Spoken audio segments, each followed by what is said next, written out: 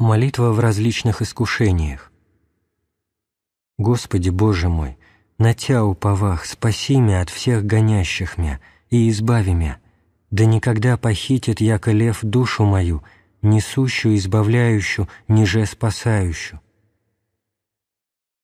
Сатана со своими злыми ангелами и служителями непрестанно гонит и, как лев, пытается верных схватить и похитить, как апостол говорит – трезвитесь, бодрствуйте, потому что противник ваш дьявол ходит, как рыкающий лев, ища кого поглотить.